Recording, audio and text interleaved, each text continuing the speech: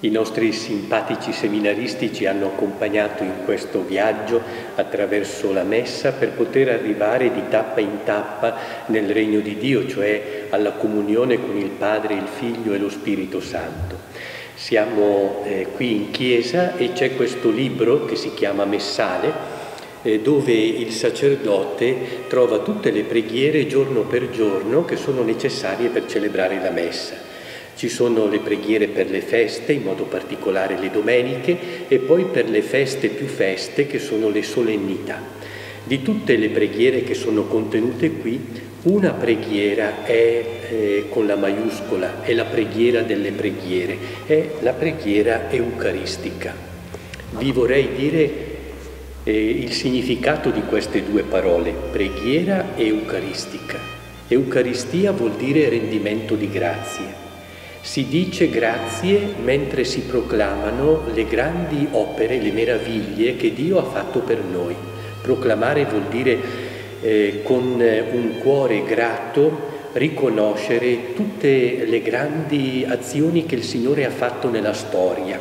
Diventa una storia di salvezza quella di Dio con il suo popolo, perché Dio non ha mai mancato all'appuntamento, Dio è fedele alle promesse e le grandi opere di Dio che vengono ricordate quali sono la creazione del mondo, dell'uomo, maschio e femmina, e poi eh, l'invio che Dio ha fatto di personaggi grandi come Mosè che ci ha dato le dieci parole di vita e poi i profeti. Ma ciò che dobbiamo anzitutto ricordare è quell'opera meravigliosa di Dio Padre che è stato mandarci nel mondo il suo figlio Gesù. E Gesù ha abbattuto tutte le barriere che ci separavano da Dio, in modo particolare il peccato, il male e la morte, e ci ha permesso il passaggio al Padre, è la sua Pasqua. La messa ricorda la Pasqua di Gesù, la sua morte, la sua sepoltura, la sua risurrezione, la sua ascensione al Padre e eh, dove adesso lui è con il Padre, alla destra del Padre.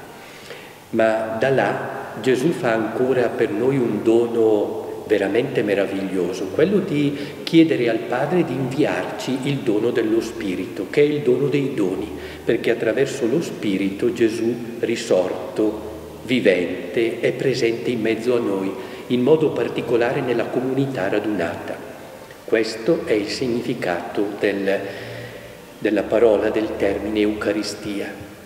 Mentre ricordiamo le grandi cose di Dio, gli rendiamo lode, gli rendiamo grazie. Ma voi vi immaginate uno che perde la memoria? Noi diciamo uno è smemorato, non sa più chi è, perde la sua identità. Vi immaginate se il popolo di Dio, che siamo noi, perdesse la memoria di quello che Dio, nostro Padre, ha fatto lungo la storia per il suo popolo, per noi? Perderemmo la nostra identità.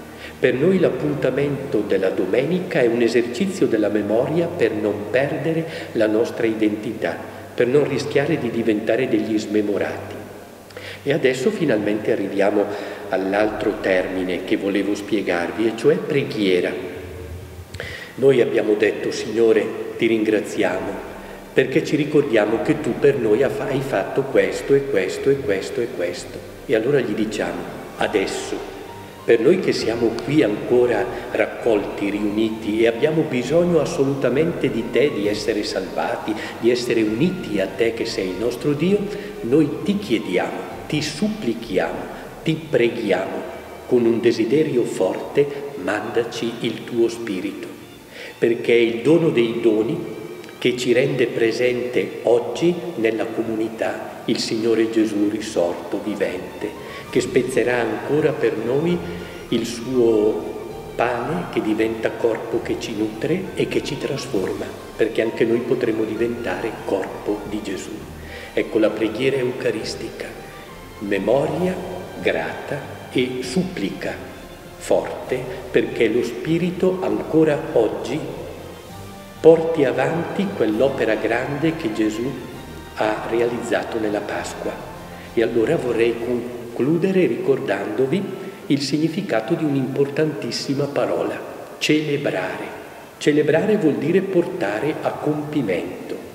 quello che Gesù ha iniziato a fare nella sua morte e resurrezione e che continua qui quando siamo nella liturgia, per portare a compimento, cioè per far crescere sempre di più quel popolo di figli che per la gloria del Padre dietro a Gesù camminano in quel viaggio che li porta fino al regno dei cieli, che è un regno di felicità, perché Dio sarà tutto in tutto.